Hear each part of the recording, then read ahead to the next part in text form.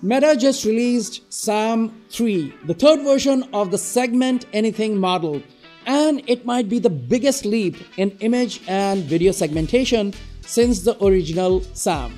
Because SAM 3 doesn't just segment objects, it segments, detects, and tracks every part of a scene all in one unified model. For years, AI has used separate tools for separate tasks. One model for object detection, another for segmentation, yet another for tracking in video. SAM3 changes all of that.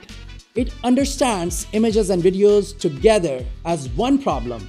It can automatically find every object, draw precise boundaries, and follow these objects smoothly across time.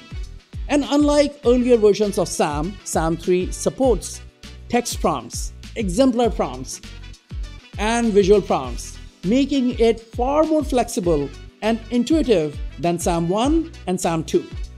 Meta showed that SAM3 can track people, hands, animals, vehicles, tools, anything, even when they move fast, change shape, or overlap. That means editors can finally get automatic video object tracking with stable masks. AR VR systems get real time, reliable segmentation of hands and objects.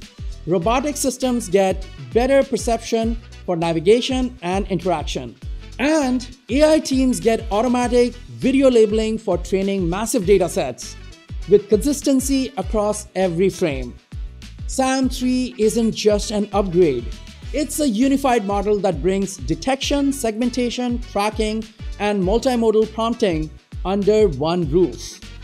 This is the foundation for the next generation of real time AI, robotics, AR, automation, and visual understanding. And it's happening right now.